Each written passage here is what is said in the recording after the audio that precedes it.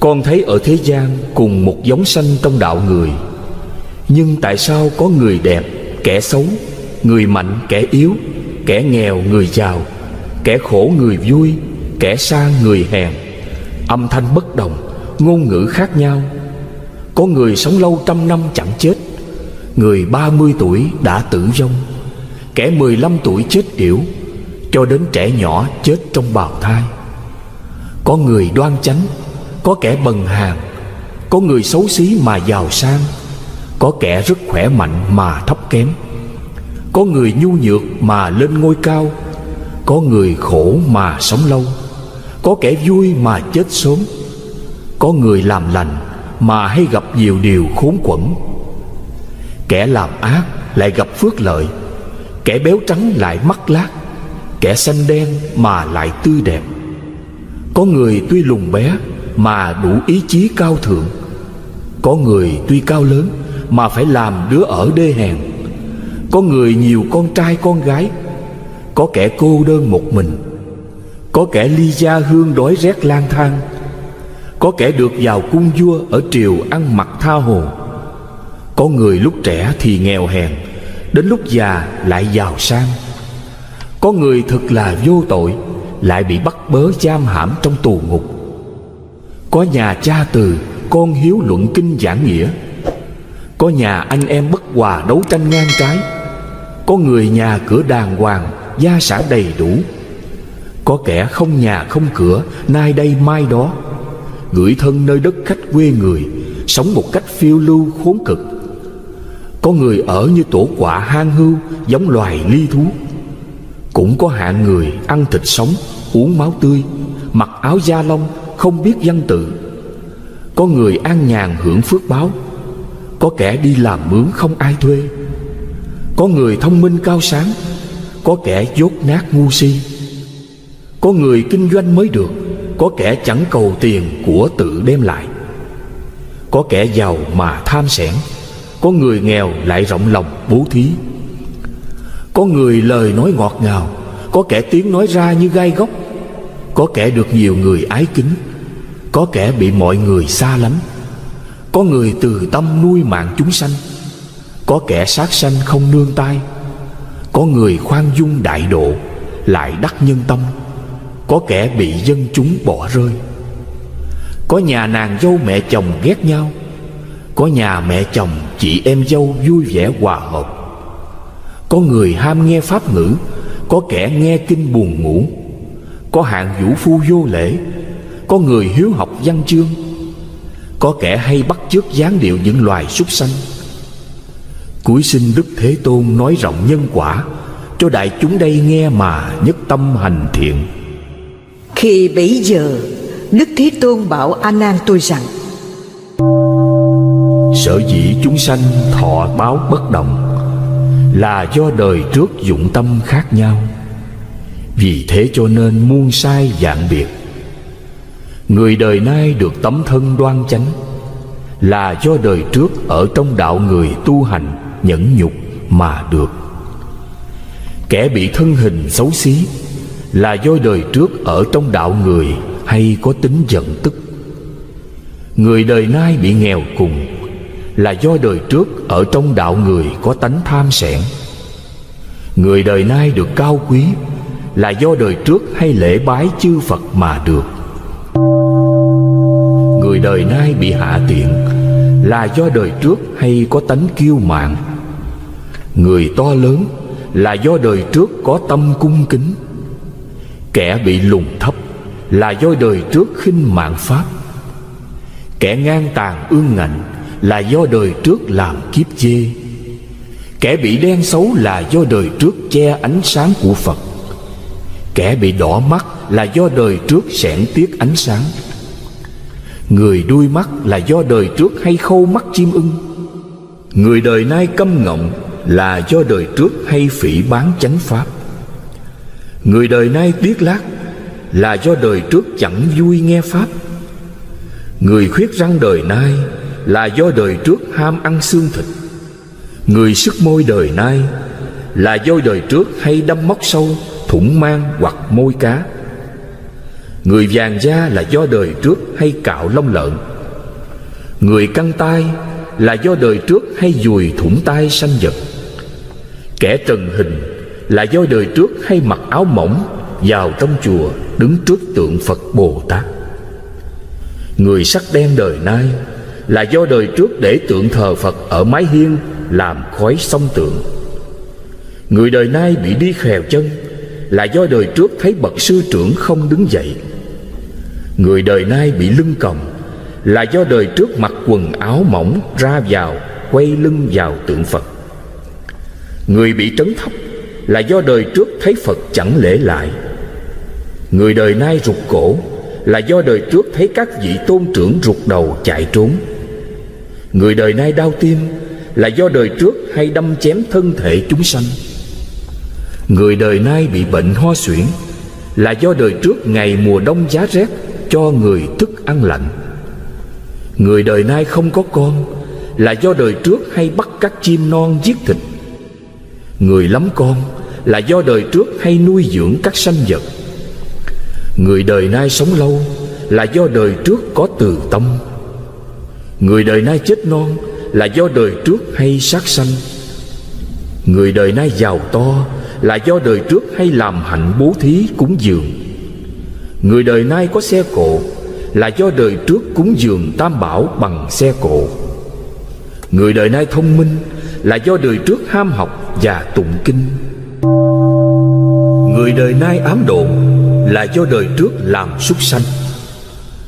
Người đời nay làm tôi đòi Là do đời trước nghèo mà tham chứa giấu Người đời nay hay nhảy nhót xoay cuồng là do đời trước làm kiếp khỉ.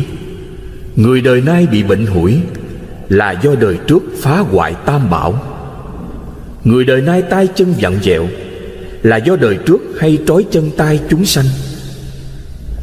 Người đời nay hay có tánh ác là do đời trước làm kiếp rắn rết bọ cạp. Người đời nay sáu căn được đầy đủ Là do đời trước chuyên tâm giữ giới. Người đời nay các căn Tai, mắt, mũi, lưỡi, thân, ý Không được đầy đủ Là do đời trước phá giới. Người đời nay hay ăn ở bẩn thỉu Là do đời trước làm kiếp lợn. Người đời nay ham múa hát là do đời trước làm nghề múa hát ả đào phường chèo tái sanh. Người đa tham đời nay là do đời trước làm kiếp chó đầu thai người đời nay có búi thịt đeo lủng lẳng ở cổ, là do đời trước hay ăn dụng người đời nay bị mồm hôi thúi, là do đời trước hay mắng chửi rủa hỗn hào. Người đời nay không có nam căn là do đời trước hay thiến chó lợn. Người đời nay ngắn lưỡi nói ngọng, Là do đời trước ngồi ở chỗ vắng Hay nhục mạ mắng nhiếc các bậc tôn trưởng. Người đời nay ham thông dâm với phụ nữ người ta Chết đọa làm loài ngang dịch. Người đời nay hay thủ dâm với chính họ Khi chết đọa làm loài chim công, chim sẻ. Người sẻn tiết kinh thư Che giấu trí huệ Không chịu nói cho người Chết đọa làm loài trùng mọt Ăn đất ăn gỗ. Người hay đeo cung tên súng đạn cưỡi ngựa Chết đọa trong loài mường máng mọi rợ. Người ham sát sanh Chết đọa vào trong loài hổ báo chó sói. Người hay mặc áo dài lượt thượt Chết đọa làm con trùng đuôi dài. Người hay nằm ăn, chết đọa vào loài lợn. Kẻ hay nhái tiếng người Hoặc hài hước điệu người, Chết đọa làm loài chim dẹo. Kẻ hay chế giễu người, Chết đọa làm loài trăng rắn ác độc. Kẻ hay làm buồn não người, Chết đọa làm loài trùng ảo não. Kẻ hay tuyên truyền điều ác, Làm cho người ta tin, Chết đọa làm loài chim cú, chim cắt. Kẻ hay nói làm cho người ta bị ương họa tù tội, Chết đọa làm loài thú giả hồ. Kẻ hay làm cho người ta sợ hãi kinh khủng, Chết đọa làm loài hưu nai. Người đời trước đi guốc dép vào chùa, Đời nay sanh trong loài có móng như móng ngựa. Kẻ đời trước bớt phần ăn của người Đời nay làm con mọt gặm gỗ. Làm bẩn đất chúng tăng, Bị đọa làm loài trùng ở chốn bẩn. Lấy trộm quả trái của chúng tăng, Bị đọa làm loài trùng ăn bùn đất. Ăn trộm của chúng tăng, Bị đọa làm thân trâu lừa. Lạm dụng nước của tăng, Bị đọa làm thân cá giải. Lạm dụng rau của tăng, Bị đọa làm loài sâu ở các thứ rau. Đời trước nhục mạ chúng tăng, Đời nay phải làm loài trùng ở cổ trâu. Bất kính ngồi giường của tăng, Phải đọa làm loài lương loài lịch. Lạm dụng các đồ vật của tăng, Phải đọa làm loài thiêu thân. Nhổ khạc trong đất chùa, Đời nay phải đọa làm chim dài mỏ. Mặc áo hở hang, Bôi phấn đánh môi son vào chùa, Đời nay phải đọa làm chim mỏ đỏ. Mặc áo mỏng manh màu sặc sỡ vào chùa, Đời nay đọa làm loài chim lệ. Đời trước vợ chồng nằm ngủ với nhau ở trong chùa, Đời nay phải đọa làm loài trùng thanh. Đời trước ngồi trên hoặc đạp vào tháp thờ Phật, Đời nay phải đọa làm loài lạc đà. Làm ô quế tịnh hạnh của Tăng Ni, Chết đọa vào địa ngục thiết quật. Có trăm ngàn muôn dòng dao Bay xuống chém tan thân thể. Khi đó A Nan tôi bạch Phật rằng Lại Đức Thế Tôn Theo như lời Phật nói phạm vào của chúng tăng Thật là tội rất nặng. Nếu như thế thì bốn chúng đàn diệt Làm sao đến chùa mà cung kính lễ bái được? Phật nói Người đến chùa Tăng có hai thứ tâm. Một là thiện tâm Hai là ác tâm. Thế nào là thiện tâm? Người đến chùa Tăng thấy Phật thì lễ bái, Thấy Tăng thì cung kính. Thỉnh kinh hỏi nghĩa và thọ giới sám hối. Bỏ tiền của ra xây cất chùa chiền, Ấn tống kinh, kiến lập tam bảo, Không tiếc thân mạng, hộ trì chánh pháp. Những người như thế cất chân một bước, Tức là bước lên thiên đàng. Đời vị lai hưởng phúc như cây đề gia, Đó gọi là người tối thượng thiện. Thế nào là ác tâm?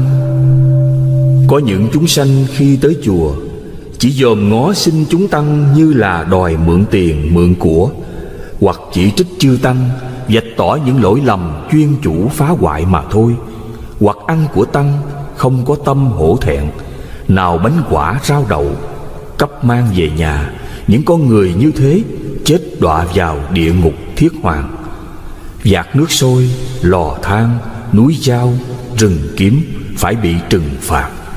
Đó tức là kẻ tối hạ ác nhân. Phật lại dặn A Nan tôi rằng Phải răng bảo cho các đệ tử của ta đời mai sau. Khi đến chùa phải cẩn thận Chớ phạm của tam bảo. Phải gắng sức tôn sùng thành thật Chớ có thoái tâm Nghe theo lời Phật. Tới khi Ngài Di Lặc xuất thế Quyết định được độ thoát Không nghi ngờ. Phật nói Đời nay cướp lột áo của người ta Chết đọa vào địa ngục hàng băng. Sao đọa làm loài tầm Bị người nung nấu kéo tơ?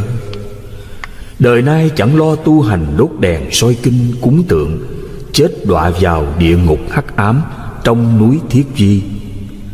Đời nay làm kẻ đồ tể mổ giết chúng sanh Chết đọa vào trong địa ngục đao sơn kiếm thụ Đời nay ham đi săn bắn Huyết chó thả chim ưng làm mồi. Sau khi chết đọa vào trong địa ngục thiết cứ. Đời nay hay làm hạnh tà dâm, Sau khi chết đọa vào trong địa ngục đồng trụ thiết sàng Đời nay chứa nhiều vợ, Sau khi chết đọa vào trong địa ngục thiết khải. Đời nay chứa nhiều chồng sau khi chết đọa vào địa ngục độc xà. Đời nay hay thui luộc gà, Sau khi chết đọa vào trong địa ngục hôi hà. Đời nay hay cạo lông lợn, Nhổ lông gà, Sau khi chết đọa vào địa ngục hoạch than Đời nay hay hoạn thiến chó lợn, Sau khi chết đọa vào địa ngục tim thạch. Đời nay hay uống rượu say sau khi chết đọa vào địa ngục uống nước đồng. Đời nay hay cắt chém chúng sanh, Sau khi chết đọa vào địa ngục thiết luân. Đời nay lý trộm quả trái của tăng chúng, Sau khi chết đọa vào địa ngục thiết hoàng. Đời nay hay ham ăn ruột thịt chó lợn, Sau khi chết đọa vào trong địa ngục phân nước giải. Đời nay hay ăn gỏi cá sau khi chết đọa vào trong địa ngục đao lâm kiếm thụ. Đời nay làm mẹ ghẻ cai nghiệt với con chồng. Sau khi chết đọa vào trong địa ngục hỏa xa. Đời nay hay nói lưỡi đôi chiều Làm cho người ta ấu đả nhau. Sau khi chết đọa vào trong địa ngục thiết lê. Đời nay hay nói đâm thọc mạ nhục người. Sau khi chết đọa vào trong địa ngục bạc thiệt. Đời nay hay nói dối, Sau khi chết đọa vào trong địa ngục, thiết châm. Đời nay hay sát sanh cúng tế, Tà thần, Sau khi chết đọa vào địa ngục, thiết đối. Đời nay làm bà đồng khi lên đồng, Giả làm lời nói của quỷ thần Để chối lừa người ta, lấy tiền của. Sau khi chết, đọa vào trong địa ngục, nhục sơn. Đời nay làm bà đồng nhắm mắt nhìn xuống đất dối người lên trời lấy thần hồn. Kẻ đó sau khi chết đọa vào trong địa ngục trảm yêu. Đời nay làm bà đồng bảo người ta sát sanh cúng tế Để cầu ông thần lớn hoặc họa ngũ đạo Thổ địa, thổ công, ông hoàng bà chúa. Tất cả như thế đều là lừa dối kẻ ngu lấy tiền Sau khi chết đọa vào địa ngục trước. Bị quân ngục tốt băm chém, mổ xẻ thân thể, Lại bị con chim mỏ sắt mổ môi hai mắt. Đời nay làm thầy bói phù thủy, Ông đồng hoặc thầy địa lý chôn cất mồ mã Xem gia trạch, đoán các hung, Năm họ tiện lợi, An long giận mạch trấn ác suy họa, Để lừa dối kẻ ngu lấy tiền, Nói càng những điềm tốt xấu. Các bọn người này sau khi chết, Đọa vào trong địa ngục thiết đồng. Có rất nhiều giống chim đậu trên mình kẻ đó Để mổ móc thịt ăn, Rút rỉa gân xương, Chịu khổ vô cùng. Đời nay làm thầy thuốc lừa dối chữa bệnh người không lành Để lấy tiền, Sau khi chết đọa vào địa ngục châm chích, Toàn thân bị thiêu đốt. Đời nay làm kẻ phá tháp chùa, Lường gạt chư tăng, Bất hiếu với cha mẹ, Sau khi chết đọa vào địa ngục A Tỳ qua tám địa ngục lớn Và các địa ngục nhỏ. 136 sở Lâu một kiếp, hai kiếp Cho đến năm kiếp. Rồi sau đó mới được ra. Nếu gặp bậc thiện tri thức giáo hóa Phát tâm Bồ Đề Bằng không lại đọa địa ngục. Phật nói Làm thân người rất hôi thối nhơ bẩn Đầy lòng giận tức khó gỡ bỏ phải biết kẻ đó kiếp trước đã làm giống lạc đà, Nay được tái sanh. Người hay đi đây đi đó, Ăn khỏe, Không tránh nguy hiểm khó khăn, Kẻ đó trước làm giống ngựa được tái sanh. Người hay sông pha đi nắng đi rét, Tâm không ghi nhớ, Kẻ đó trước làm giống trâu được tái sanh. Người không biết hổ thẹn, Nhiều ái niệm không phân biệt phải trái, Kẻ đó trước làm giống lừa được tái sanh. Người hay tham ăn thịt Làm gì cũng không sợ Kẻ đó trước làm giống sư tử được tái sanh. Người thân cao lớn, mắt tròn Tánh hay lẩn tránh những nơi đồng ruộng Và ghét bỏ vợ con Kẻ đó trước làm giống hổ được tái sanh. Người lông trên mình dài, mắt nhỏ Không muốn ở yên một chỗ Kẻ đó trước làm giống chim được tái sanh.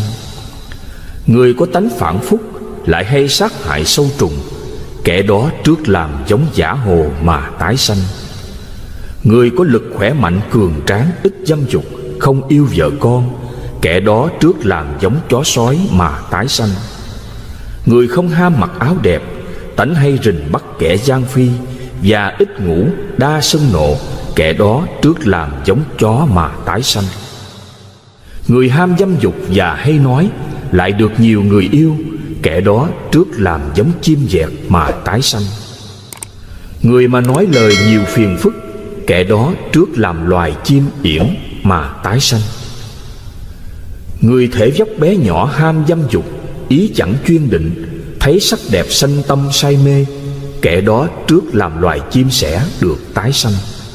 Người mắt có sắc đỏ, răng ngắn Khi nói thì sùi bọt mép như xà bông Nằm thì cuộn mình lại Kẻ đó trước làm loài trăng rắn được tái sanh.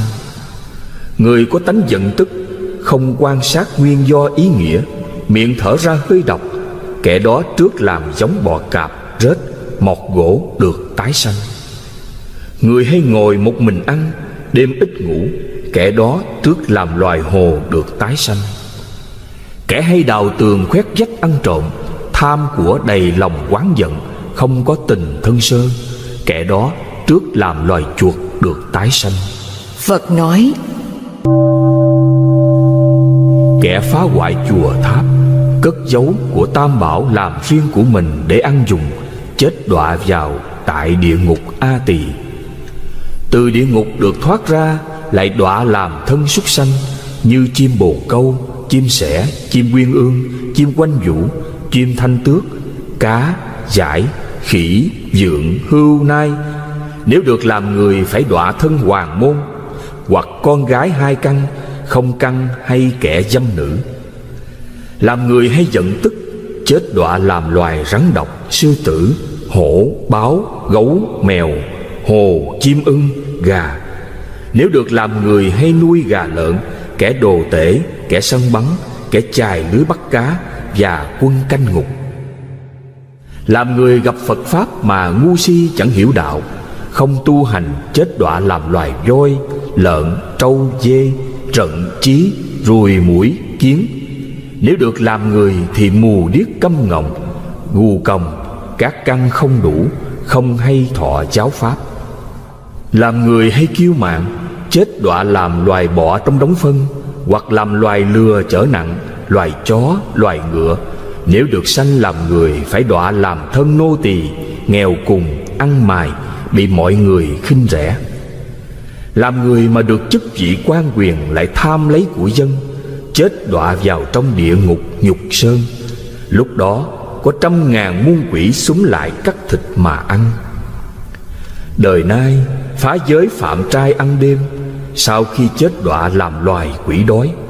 Trăm ngàn muôn năm không được ăn uống, lúc bước đi trên đầu phun ra lửa. Đời nay lễ phật không chấp tay đầu không sát đất, sau khi chết sanh nơi biên địa, làm nhiều thu hoạch ít. Đời nay chấp tay và năm thể xuống đất, Chí tâm lễ Phật. Đời sau, thường được sanh vào nhà tôn quý, Thụ hưởng khoái lạc. Người ưa giận và buồn phiền Là do đời trước có bệnh điên cuồng. Người bị con ngươi lệch về một bên Là do đời trước hay nhìn trộm phụ nữ. Người đời nay bên vợ mắng cha mẹ sau khi chết đọa vào trong địa ngục trảm thiệt. Phật lại bảo A Nan tôi rằng như trên ta đã nói rất nhiều các sự đau khổ Đều do nghiệp thập ác mà ra. Thượng là nhân duyên địa ngục Trung là nhân duyên súc sanh Hạ là nhân duyên ngạ quỷ. Tội sát sanh khiến cho chúng sanh đọa vào địa ngục ngạ quỷ súc sanh. Sao được sanh làm người phải bị hai thứ quả báo. Một là chết non, Hai là nhiều bệnh. Tội trộm cắp cũng khiến cho chúng sanh đọa địa ngục, ngạ quỷ, súc sanh. Sao được sanh làm người phải bị hai thứ quả báo? Một là nghèo cùng Hai là chung của không được xài tự do. Tội tà dâm cũng khiến cho chúng sanh đọa địa ngục, ngạ quỷ, súc sanh. Sao được sanh làm người phải bị hai thứ quả báo? Một là vợ không trinh lương, Hai là hai vợ tranh nhau không theo ý mình. Tội nói dối cũng khiến cho chúng sanh đọa địa ngục ngạ quỷ súc sanh. Sao được sanh làm người phải bị hai thứ quả báo? Một là phần nhiều bị người phỉ bán, Hai là thường bị người ta lừa gạt. Tội lưỡng thiệt cũng khiến cho chúng sanh đọa địa ngục ngạ quỷ súc sanh. Sao được sanh làm người phải bị hai thứ quả báo? Một là bị họ hàng phá hoại, Hai là anh em họ hàng tệ ác. Tội ác khẩu cũng khiến cho chúng sanh đọa địa ngục ngạ quỷ súc sanh. Sao được sanh làm người phải bị hai thứ quả báo? Một là thường phải nghe tiếng ác, Hai là có nói ra điều gì tranh cãi kiện tụng. Tội ý ngữ cũng khiến cho chúng sanh đọa địa ngục ngạ quỷ súc sanh. Sao được sanh làm người phải bị hai thứ quả báo? Một là lời nói ra chẳng ai tin, Hai là lời nói không được rành rọt. Tội tham dục cũng khiến cho chúng sanh đọa địa ngục ngạ quỷ súc sanh. Sao được sanh làm người phải bị hai thứ quả báo? Một là tham tài không chán, Hai là cầu nhiều không toại ý. Tội sân hận cũng khiến cho chúng sanh đọa địa ngục ngạ quỷ súc sanh. Sao được sanh làm người phải bị hai thứ quả báo? Một là thường bị người ta chỉ trích tội lỗi, Hai là thường bị người ta làm não hại. Tội tà kiến cũng khiến cho chúng sanh đọa địa ngục ngạ quỷ súc sanh. Sao được sanh làm người phải bị hai thứ quả báo? Một là thường sanh vào nhà tà kiến, Hai là tâm thường định hót không được ngay thẳng. Các Phật tử nên biết nghiệp thập ác như thế, Phải lãnh lấy mọi sự đau khổ bấy giờ trong đại chúng, Có người đã tạo nghiệp thập ác. Nghe Phật nói khổ báo của địa ngục như thế, Tự kêu khóc sợ hãi mà bạch Phật rằng, Lại Đức Thế Tôn, Đệ tử chúng con phải làm hạnh lành gì Mà được thoát khỏi khổ ấy? Cuối xin Đức Thế Tôn chỉ bảo cho. Phật nói, Các ngươi hãy giáo hóa cho hết thảy chúng sanh chung làm nghiệp phước. Thế nào là tu phước? Nếu có chúng sanh nào đời nay Là một người đại thí chủ đứng ra xây cất chùa Tháp, tịnh xá Đời vị lai được phước làm quốc dương Thống lãnh dạng dân khắp nơi đều quy phục. Đời nay làm ấp dương trung chánh Duy na luân chủ. Đời sau sẽ được làm dương thần Phụ tướng Châu quận đầy đủ tôn sang. Đời nay khiến quá nhiều người làm các việc công đức. Đời vị lai sẽ được làm trưởng giả giàu sang, Được người kính nể bốn đường khai thông. Đời nay hay đốt đèn cúng Phật, Đời sau sanh vào cung trời Nhật nguyệt quang minh tự chiếu soi. Đời nay hay làm việc bố thí Và từ tâm nuôi dưỡng sanh mạng, Đời sau sanh nơi giàu có Ăn mặc tự nhiên. Đời nay hay cho người thức ăn uống.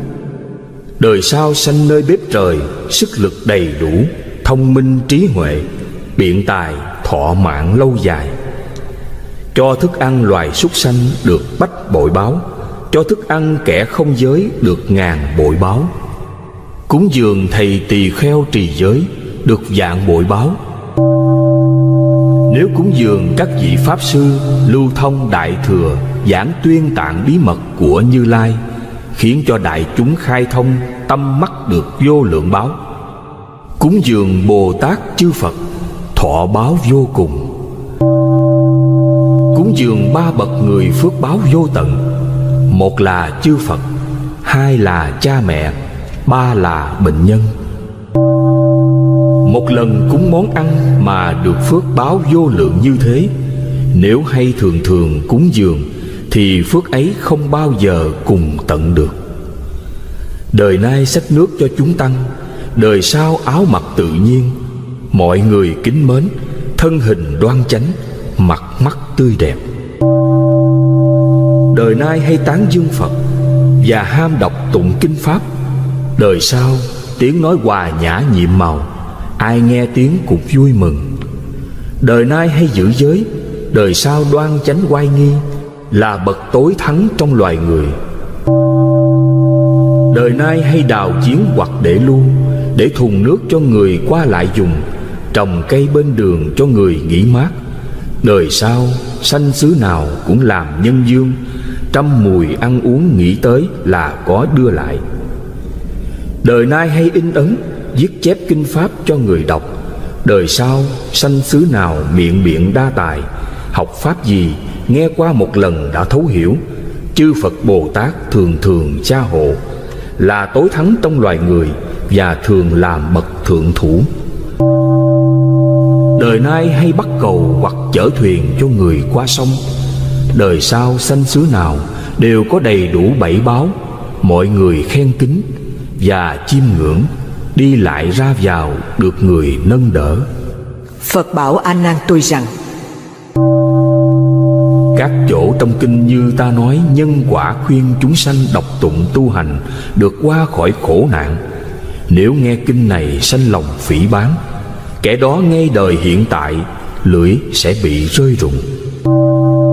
Khi đó A Nan tôi bạch Phật rằng Lại Đức Thế Tôn Kinh này tên gọi là gì Và khuyến phát thế nào? Cuối xin Ngài chỉ giáo.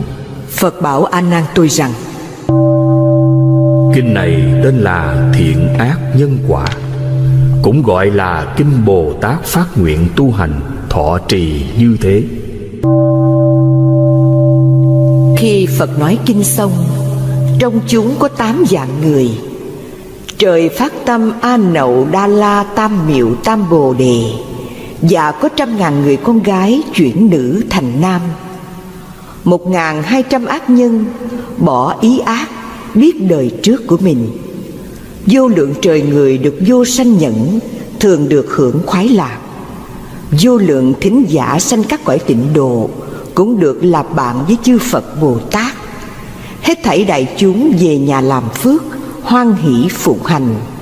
Phật nói kinh thiện ác nhân quả.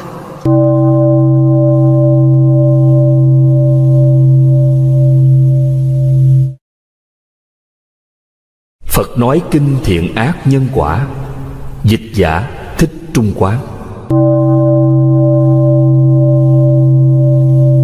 Chính tôi được nghe một thời Đức Phật ở nước xá vệ Tại vườn ông cấp cô độc Rằng cây thái tử kỳ đà. Khi bấy giờ Đức Thế Tôn thuyết Pháp Có vô lượng Bồ Tát Trời, người, đại chúng dây quanh Yên lặng một lòng nghe nhận. Lúc ấy A Nan tôi vì chúng sanh Nên bạch Phật rằng Kính lại Đức Thế Tôn Con thấy ở thế gian cùng một giống sanh trong đạo người. Nhưng tại sao có người đẹp, kẻ xấu Người mạnh, kẻ yếu Kẻ nghèo, người giàu Kẻ khổ, người vui Kẻ sang, người hèn? Âm thanh bất đồng Ngôn ngữ khác nhau. Có người sống lâu trăm năm chẳng chết Người ba mươi tuổi đã tử vong. Kẻ 15 tuổi chết yểu, Cho đến trẻ nhỏ chết trong bào thai. Có người đoan chánh, Có kẻ bần hàng Có người xấu xí mà giàu sang, Có kẻ rất khỏe mạnh mà thấp kém, Có người nhu nhược mà lên ngôi cao, Có người khổ mà sống lâu, Có kẻ vui mà chết sớm, Có người làm lành mà hay gặp nhiều điều khốn quẩn. Kẻ làm ác lại gặp phước lợi Kẻ béo trắng lại mắt lát Kẻ xanh đen mà lại tươi đẹp. Có người tuy lùn bé Mà đủ ý chí cao thượng, Có người tuy cao lớn Mà phải làm đứa ở đê hèn. Có người nhiều con trai con gái, Có kẻ cô đơn một mình. Có kẻ ly gia hương đói rét lang thang, Có kẻ được vào cung vua Ở triều ăn mặc tha hồ. Có người lúc trẻ thì nghèo hèn Đến lúc già lại giàu sang. Có người thực là vô tội, Lại bị bắt bớ giam hãm trong tù ngục. Có nhà cha từ, Con hiếu luận kinh giảng nghĩa. Có nhà anh em bất hòa đấu tranh ngang trái. Có người nhà cửa đàng hoàng, Gia sản đầy đủ. Có kẻ không nhà không cửa, Nay đây mai đó. Gửi thân nơi đất khách quê người, Sống một cách phiêu lưu khốn cực có người ở như tổ quả hang hưu, Giống loài ly thú. Cũng có hạng người ăn thịt sống, Uống máu tươi, Mặc áo da lông, Không biết văn tự. Có người an nhàn hưởng phước báo. Có kẻ đi làm mướn không ai thuê. Có người thông minh cao sáng. Có kẻ dốt nát ngu si. Có người kinh doanh mới được. Có kẻ chẳng cầu tiền của tự đem lại. Có kẻ giàu mà tham sẻn có người nghèo lại rộng lòng bố thí. Có người lời nói ngọt ngào, Có kẻ tiếng nói ra như gai góc. Có kẻ được nhiều người ái kính, Có kẻ bị mọi người xa lánh. Có người từ tâm nuôi mạng chúng sanh, Có kẻ sát sanh không nương tay Có người khoan dung đại độ, Lại đắc nhân tâm. Có kẻ bị dân chúng bỏ rơi. Có nhà nàng dâu mẹ chồng ghét nhau có nhà mẹ chồng, chị em dâu vui vẻ hòa hợp. Có người ham nghe pháp ngữ, Có kẻ nghe kinh buồn ngủ. Có hạng vũ phu vô lễ, Có người hiếu học văn chương. Có kẻ hay bắt chước dáng điệu những loài súc sanh. Cuối sinh Đức Thế Tôn nói rộng nhân quả, Cho đại chúng đây nghe mà nhất tâm hành thiện. Khi bấy giờ, Đức Thế Tôn bảo A Nan tôi rằng Sở dĩ chúng sanh thọ báo bất đồng Là do đời trước dụng tâm khác nhau. Vì thế cho nên muôn sai dạng biệt. Người đời nay được tấm thân đoan chánh Là do đời trước ở trong đạo người tu hành nhẫn nhục mà được. Kẻ bị thân hình xấu xí Là do đời trước ở trong đạo người hay có tính giận tức. Người đời nay bị nghèo cùng là do đời trước ở trong đạo người có tánh tham sẻn. Người đời nay được cao quý Là do đời trước hay lễ bái chư Phật mà được. Người đời nay bị hạ tiện Là do đời trước hay có tánh kiêu mạn. Người to lớn là do đời trước có tâm cung kính. Kẻ bị lùng thấp là do đời trước khinh mạng pháp. Kẻ ngang tàn ương ngạnh là do đời trước làm kiếp chê. Kẻ bị đen xấu là do đời trước che ánh sáng của Phật. Kẻ bị đỏ mắt là do đời trước sẻn tiết ánh sáng. Người đuôi mắt là do đời trước hay khâu mắt chim ưng. Người đời nay câm ngọng là do đời trước hay phỉ bán chánh pháp. Người đời nay tiếc lác là do đời trước chẳng vui nghe pháp. Người khuyết răng đời nay là do đời trước ham ăn xương thịt. Người sức môi đời nay là do đời trước hay đâm móc sâu, thủng mang hoặc môi cá. Người vàng da là do đời trước hay cạo lông lợn. Người căng tay là do đời trước hay dùi thủng tay sanh vật. Kẻ trần hình là do đời trước hay mặc áo mỏng vào trong chùa đứng trước tượng Phật Bồ Tát. Người sắc đen đời nay là do đời trước để tượng thờ Phật ở mái hiên làm khói sông tượng. Người đời nay bị đi khèo chân là do đời trước thấy bậc sư trưởng không đứng dậy. Người đời nay bị lưng còng là do đời trước mặc quần áo mỏng ra vào, quay lưng vào tượng Phật. Người bị trấn thấp là do đời trước thấy Phật chẳng lễ lại Người đời nay rụt cổ Là do đời trước thấy các vị tôn trưởng rụt đầu chạy trốn Người đời nay đau tim Là do đời trước hay đâm chém thân thể chúng sanh. Người đời nay bị bệnh ho suyễn Là do đời trước ngày mùa đông giá rét Cho người thức ăn lạnh. Người đời nay không có con Là do đời trước hay bắt các chim non giết thịt. Người lắm con là do đời trước hay nuôi dưỡng các sanh vật. Người đời nay sống lâu là do đời trước có từ tâm. Người đời nay chết non là do đời trước hay sát sanh. Người đời nay giàu to là do đời trước hay làm hạnh bố thí cúng dường. Người đời nay có xe cộ là do đời trước cúng dường tam bảo bằng xe cộ. Người đời nay thông minh là do đời trước ham học và tụng kinh. Người đời nay ám độn là do đời trước làm súc sanh. Người đời nay làm tôi đòi là do đời trước nghèo mà tham chứa giấu Người đời nay hay nhảy nhót xoay cuồng là do đời trước làm kiếp khỉ. Người đời nay bị bệnh hủi là do đời trước phá hoại tam bảo. Người đời nay tay chân vặn dẹo là do đời trước hay trói chân tay chúng sanh. Người đời nay hay có tánh ác Là do đời trước làm kiếp rắn rết bọ cạp. Người đời nay sáu căn được đầy đủ Là do đời trước chuyên tâm giữ giới. Người đời nay các căn Tai, mắt, mũi, lưỡi, thân, ý Không được đầy đủ Là do đời trước phá giới. Người đời nay hay ăn ở bẩn thỉu Là do đời trước làm kiếp lợn. Người đời nay ham múa hát Là do đời trước làm nghề múa hát ả đào Phường chèo tái sanh. Người đa tham đời nay Là do đời trước làm kiếp chó đầu thai. Người đời nay có búi thịt đeo lủng lẳng ở cổ Là do đời trước hay ăn dụng. Người đời nay bị mồm hôi thúi Là do đời trước hay mắng chửi rủa hỗn hào.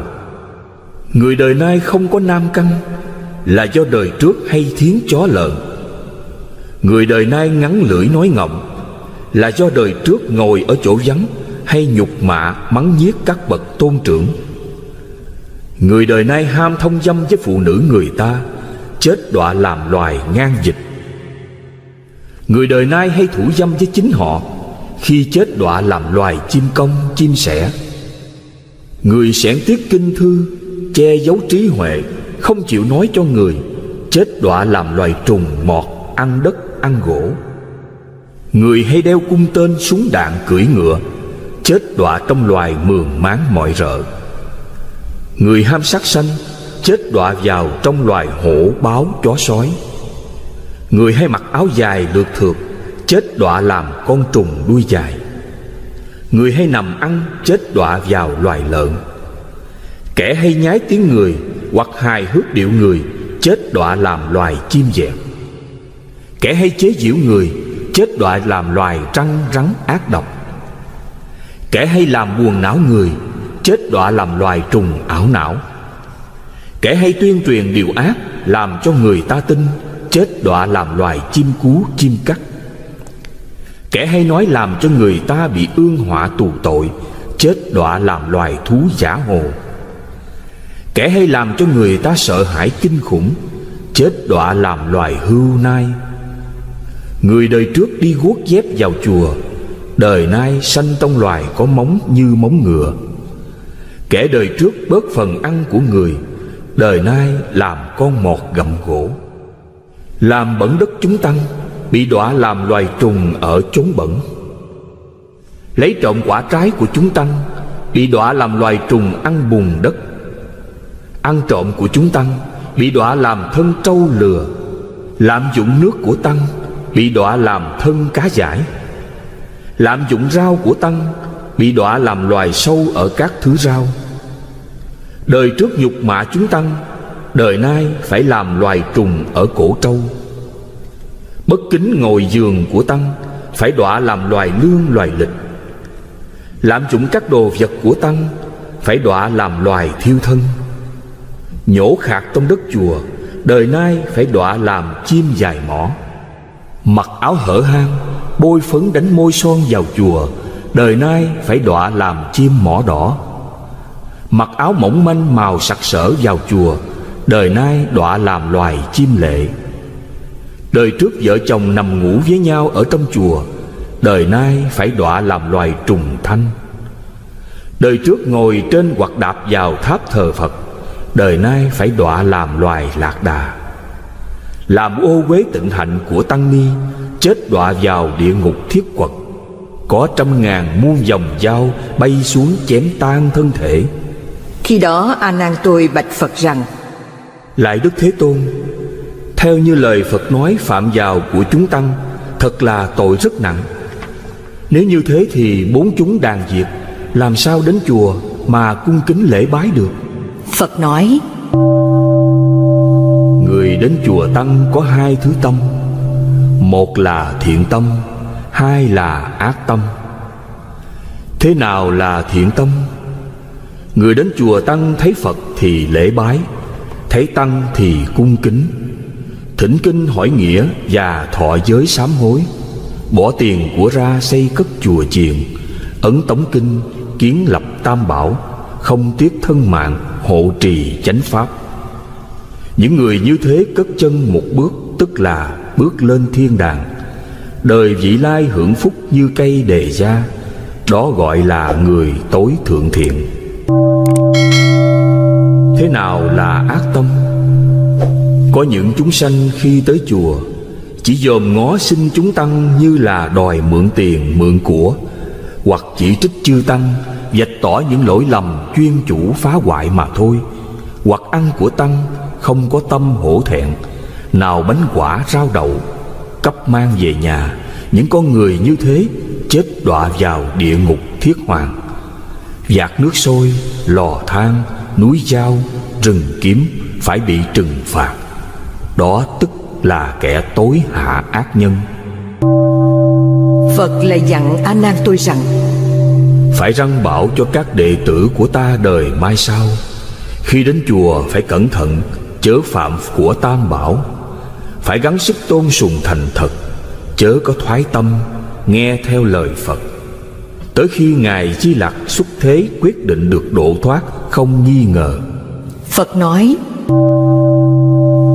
Đời nay cướp lột áo của người ta Chết đọa vào địa ngục hàng băng. Sao đọa làm loài tầm Bị người nung nấu kéo tơ? Đời nay chẳng lo tu hành đốt đèn soi kinh cúng tượng Chết đọa vào địa ngục hắc ám Trong núi Thiết Di. Đời nay làm kẻ đồ tể mổ giết chúng sanh, Chết đọa vào trong địa ngục đao sơn kiếm thụ. Đời nay ham đi săn bắn Huyết chó thả chim ưng làm mồi, Sau khi chết đọa vào trong địa ngục thiết cứ. Đời nay hay làm hạnh tà dâm, Sau khi chết đọa vào trong địa ngục đồng trụ thiết sàng. Đời nay chứa nhiều vợ, Sau khi chết đọa vào trong địa ngục thiết khải. Đời nay chứa nhiều chồng, Sau khi chết đọa vào địa ngục độc xà. Đời nay hay thui luộc gà, Sau khi chết đọa vào trong địa ngục hôi hà. Đời nay hay cạo lông lợn, Nhổ lông gà, Sau khi chết đọa vào địa ngục hoạch thang. Đời nay hay hoạn thiến chó lợn sau khi chết, đọa vào địa ngục tiêm thạch.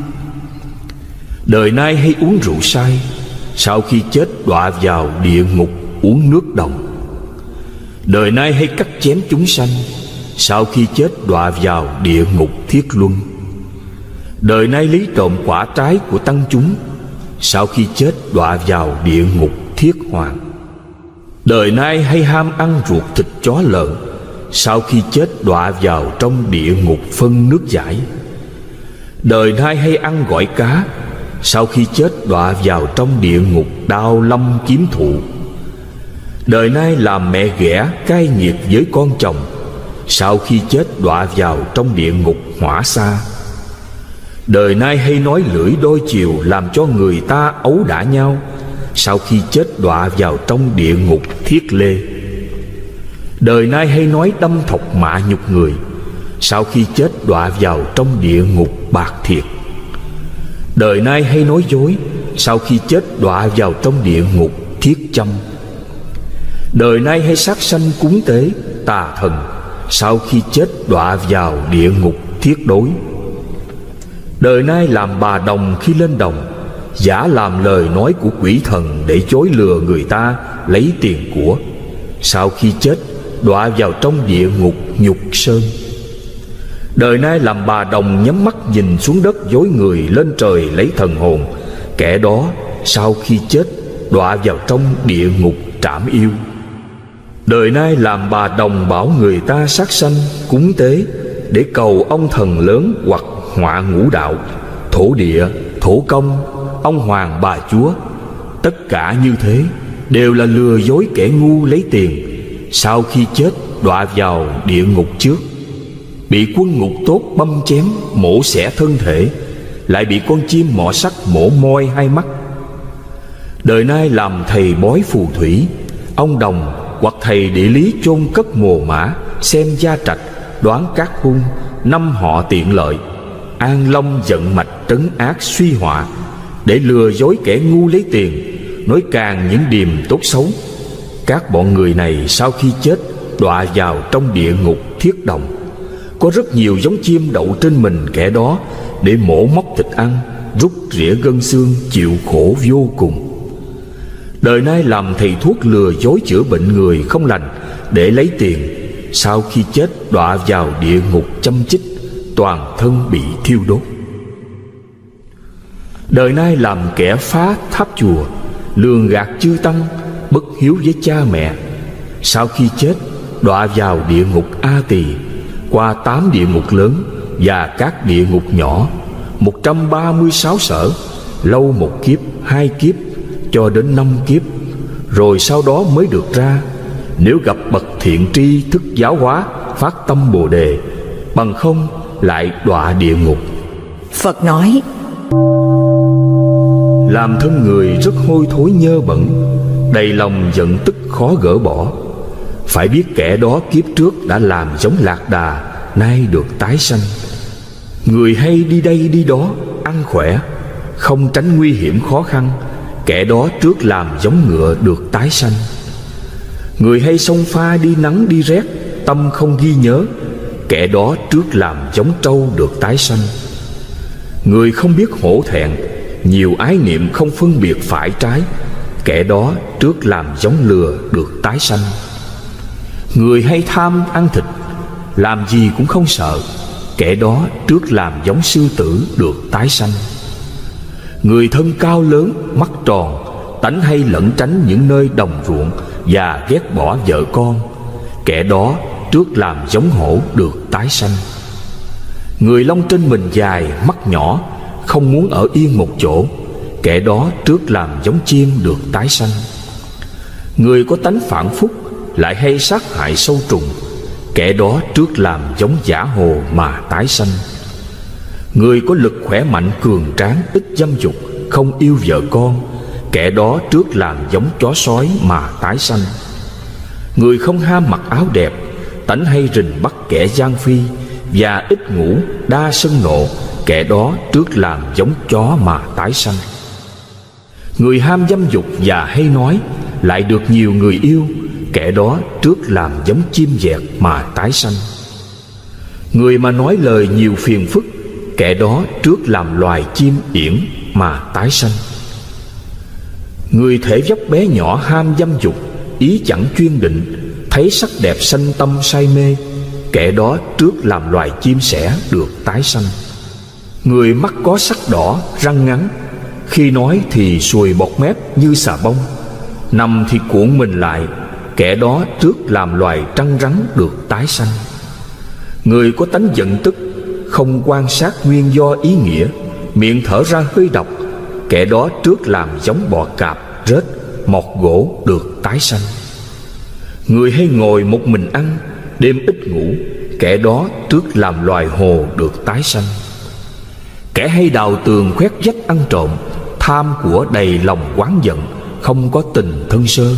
Kẻ đó trước làm loài chuột được tái sanh. Phật nói Kẻ phá hoại chùa tháp Cất giấu của tam bảo làm riêng của mình để ăn dùng Chết đọa vào tại địa ngục A Tỳ Từ địa ngục được thoát ra Lại đọa làm thân súc sanh Như chim bồ câu, chim sẻ, chim quyên ương, chim quanh vũ, chim thanh tước, cá, giải, khỉ, dượng, hưu, nai. Nếu được làm người phải đọa thân hoàng môn Hoặc con gái hai căn, không căn hay kẻ dâm nữ. Làm người hay giận tức Chết đọa làm loài rắn độc Sư tử, hổ, báo, gấu, mèo Hồ, chim ưng, gà. Nếu được làm người hay nuôi gà lợn Kẻ đồ tể, kẻ săn bắn Kẻ chài lưới bắt cá và quân canh ngục. Làm người gặp Phật Pháp mà ngu si chẳng hiểu đạo Không tu hành chết đọa làm loài voi Lợn, trâu, dê, trận, chí, ruồi, mũi, kiến. Nếu được làm người thì mù điếc câm ngọng Gù còng Các căn không đủ Không hay thọ giáo pháp. Làm người hay kiêu mạng Chết đọa làm loài bọ trong đống phân Hoặc làm loài lừa chở nặng Loài chó, loài ngựa. Nếu được sanh làm người Phải đọa làm thân nô tỳ Nghèo cùng, ăn mài Bị mọi người khinh rẻ. Làm người mà được chức vị quan quyền Lại tham lấy của dân chết đọa vào trong địa ngục nhục sơn. Lúc đó có trăm ngàn muôn quỷ súng lại cắt thịt mà ăn. Đời nay phá giới phạm trai ăn đêm sau khi chết đọa làm loài quỷ đói trăm ngàn muôn năm không được ăn uống, lúc bước đi trên đầu phun ra lửa. Đời nay lễ phật không chấp tay, đầu không sát đất, sau khi chết sanh nơi biên địa, làm nhiều thu hoạch ít. Đời nay chấp tay và năm thể xuống đất, Chí tâm lễ Phật. Đời sau, thường được sanh vào nhà tôn quý, Thụ hưởng khoái lạc. Người ưa giận và buồn phiền Là do đời trước có bệnh điên cuồng. Người bị con ngươi lệch về một bên Là do đời trước hay nhìn trộm phụ nữ. Người đời nay bên vợ mắng cha mẹ Sau khi chết đọa vào trong địa ngục trảm thiệt. Phật lại bảo A Nan tôi rằng Như trên ta đã nói rất nhiều các sự đau khổ Đều do nghiệp thập ác mà ra. Thượng là nhân duyên địa ngục Trung là nhân duyên súc sanh Hạ là nhân duyên ngạ quỷ Tội sát sanh khiến cho chúng sanh đọa vào địa ngục ngạ quỷ súc sanh. Sao được sanh làm người? Phải bị hai thứ quả báo. Một là chết non, Hai là nhiều bệnh. Tội trộm cắp cũng khiến cho chúng sanh đọa địa ngục ngạ quỷ súc sanh. Sao được sanh làm người phải bị hai thứ quả báo? Một là nghèo cùng Hai là chung của không được xài tự do. Tội tà dâm cũng khiến cho chúng sanh đọa địa ngục ngạ quỷ súc sanh. Sao được sanh làm người phải bị hai thứ quả báo? Một là vợ không trinh lương, Hai là hai vợ tranh nhau không theo ý mình.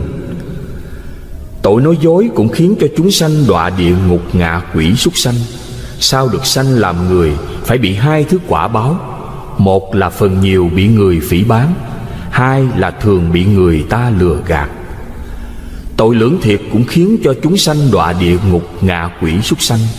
Sao được sanh làm người phải bị hai thứ quả báo? Một là bị họ hàng phá hoại, Hai là anh em họ hàng tệ ác. Tội ác khẩu cũng khiến cho chúng sanh đọa địa ngục ngạ quỷ súc sanh. Sao được sanh làm người phải bị hai thứ quả báo? Một là thường phải nghe tiếng ác, Hai là có nói ra điều gì tranh cãi kiện tụng. Tội ý ngữ cũng khiến cho chúng sanh đọa địa ngục ngạ quỷ súc sanh. Sau được sanh làm người phải bị hai thứ quả báo? Một là lời nói ra chẳng ai tin, Hai là lời nói không được rành rọt. Tội tham dục cũng khiến cho chúng sanh đọa địa ngục ngạ quỷ súc sanh. Sao được sanh làm người phải bị hai thứ quả báo? Một là tham tài không chán, Hai là cầu nhiều không toại ý. Tội sân hận cũng khiến cho chúng sanh đọa địa ngục ngạ quỷ súc sanh. Sao được sanh làm người phải bị hai thứ quả báo? Một là thường bị người ta chỉ trích tội lỗi, Hai là thường bị người ta làm não hại. Tội tà kiến cũng khiến cho chúng sanh đọa địa ngục ngạ quỷ súc sanh. Sao được sanh làm người phải bị hai thứ quả báo? Một là thường sanh vào nhà tà kiến, Hai là tâm thường định hót không được ngay thẳng. Các Phật tử nên biết nghiệp thập ác như thế, Phải lãnh lấy mọi sự đau khổ. Lúc bấy giờ trong đại chúng, Có người đã tạo nghiệp thập ác. Nghe Phật nói khổ báo của địa ngục như thế, Tự kêu khóc sợ hãi mà bạch Phật rằng, Lại Đức Thế Tôn, Đệ tử chúng con phải làm hạnh lành gì Mà được thoát khỏi khổ ấy? Cuối xin Đức Thế Tôn chỉ bảo cho. Phật nói các ngươi hãy giáo hóa cho hết thảy chúng sanh chung làm nghiệp phước. Thế nào là tu phước? Nếu có chúng sanh nào đời nay Là một người đại thí chủ đứng ra xây cất chùa Tháp, tịnh xá Đời vị lai được phước làm quốc dương Thống lãnh dạng dân khắp nơi đều quy phục. Đời nay làm ấp dương trung chánh Duy na luân chủ. Đời sau sẽ được làm dương thần Phụ tướng. Châu quận đầy đủ tôn sang. Đời nay khiến quá nhiều người làm các việc công đức, Đời vị lai sẽ được làm trưởng giả giàu sang, Được người kính nể bốn đường khai thông. Đời nay hay đốt đèn cúng Phật, Đời sau sanh vào cung trời Nhật Nguyệt Quang Minh tự chiếu soi. Đời nay hay làm việc bố thí Và từ tâm nuôi dưỡng sanh mạng. Đời sau sanh nơi giàu có, Ăn mặc tự nhiên. Đời nay hay cho người thức ăn uống. Đời sau sanh nơi bếp trời, Sức lực đầy đủ, Thông minh trí huệ, Biện tài thọ mạng lâu dài.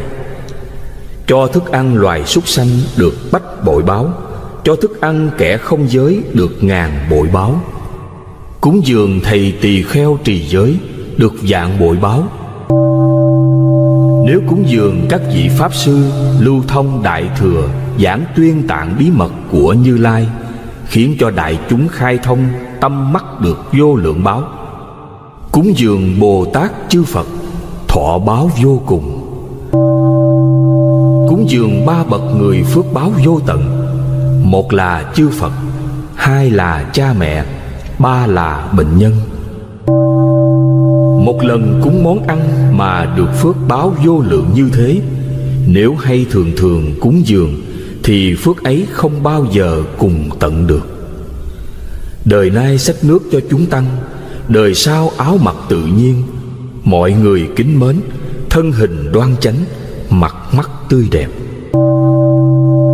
Đời nay hay tán dương phật và ham đọc tụng kinh pháp, đời sau tiếng nói hòa nhã nhiệm màu ai nghe tiếng cũng vui mừng.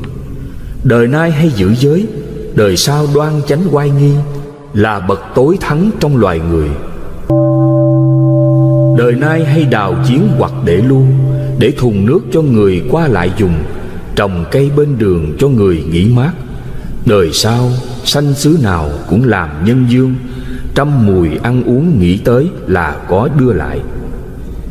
Đời nay hay in ấn viết chép kinh pháp cho người đọc. Đời sau, sanh xứ nào miệng biện đa tài, học pháp gì, nghe qua một lần đã thấu hiểu. Chư phật bồ tát thường thường cha hộ, là tối thắng trong loài người và thường làm bậc thượng thủ. Đời nay hay bắt cầu hoặc chở thuyền cho người qua sông. Đời sau sanh xứ nào đều có đầy đủ bảy báo. Mọi người khen kính và chiêm ngưỡng đi lại ra vào được người nâng đỡ. Phật bảo a nan tôi rằng các chỗ trong kinh như ta nói nhân quả khuyên chúng sanh đọc tụng tu hành được qua khỏi khổ nạn. Nếu nghe kinh này sanh lòng phỉ báng kẻ đó ngay đời hiện tại lưỡi sẽ bị rơi rụng. khi đó a nan tôi bạch phật rằng lại đức thế tôn kinh này tên gọi là gì và khuyến phát thế nào? Cuối xin ngài chỉ giáo. Phật bảo a nan tôi rằng Kinh này tên là Thiện Ác Nhân Quả Cũng gọi là Kinh Bồ Tát Phát Nguyện Tu Hành Thọ Trì như thế. Khi Phật nói kinh xong Trong chúng có tám dạng người. Trời phát tâm A Nậu Đa La Tam Miệu Tam Bồ Đề và có trăm ngàn người con gái chuyển nữ thành nam. Một ngàn hai trăm ác nhân Bỏ ý ác biết đời trước của mình. Vô lượng trời người được vô sanh nhẫn, thường được hưởng khoái lạc. Vô lượng thính giả sanh các cõi tịnh độ cũng được làm bạn với chư phật bồ tát. Hết thảy đại chúng về nhà làm phước, hoan hỷ phụng hành. Phật nói kinh thiện ác nhân quả.